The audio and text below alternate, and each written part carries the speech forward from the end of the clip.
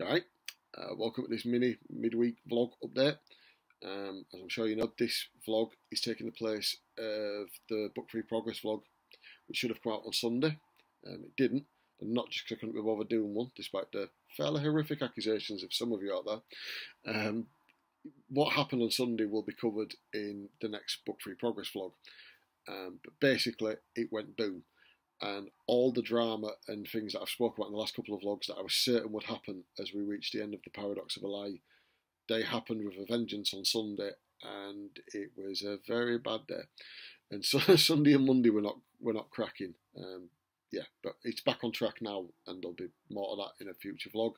Touchwood, we're still aiming for having a first draft finished version for this weekend. That is still the aim, but it is the confidence that I had before is no longer there, but that's still the aim. That being said, we're going to use this vlog as a chance to introduce Deadlock, which is my latest short story. Um, Deadlock is published on the 16th of July 2020. It'll be coming out in the exact same way that all my other short stories have come out. It'll be on Amazon exclusive, it'll be an ebook and a paperback. And we're aiming to start the publicity for it from the 1st of June.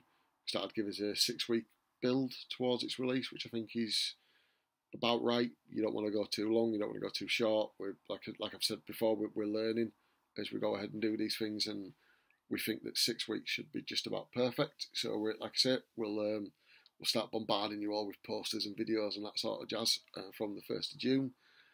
Uh, the actual story itself is it's the most complex thing I think I've ever written. Definitely the most complex short story I've ever written. Um, it's about a guy in America called Douglas Sanchez who he's a nice lad. Douglas, he's a he's a good bloke. He's honest. He's a family man. He's moralistic. He's he's a nice guy. He's he, he's the opposite of what I normally write about in my stories.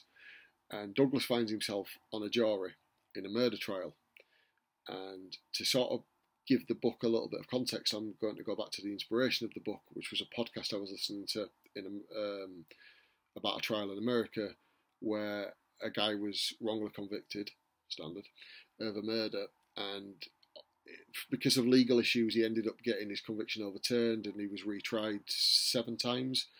Um, and in one of his trials, he gets a hung jury where the result is eleven and one. And while everything on the podcast and uh, news clippings that I found on the internet focus on the crime itself and the behaviour of the people in the trial, my uh, my mind was immediately drawn to the one in eleven and one, and what it must have been like to stand your ground and to have eleven people saying, "We want to go home. This guy is guilty," and you still saying, "No, I'm not. I'm not doing it." Step step forward, Douglas Sanchez. Um, yeah, it, it was originally supposed to be a legal thriller. It was supposed to be about the flaws in the justice system, and them bits are all still in there. But it's the the, the book, as as usual with mine, it, it's come down to being about the character, and it's no longer about what Douglas does or what the other people in the book do. It's more, I guess, about why they do it and the things that have happened in their life that shape the way they see the world and how how through seeing the world that way it maybe shuts them off so they can't see other people's side. So it's not just about how Douglas sees the world, it's about how he can't see any other way of seeing the world, maybe. You know, maybe, who knows? When you read it, you might not get that, you might get a completely different take of it, but that's how I take it. But yeah, yeah I'm very proud of it. It's I, I read it through uh, yesterday or the day before in lockdown. They all merged together? But I read it through recently, and I am genuinely really chuffed with it, really proud of it. I think it's a very complex, fine, fine piece of work.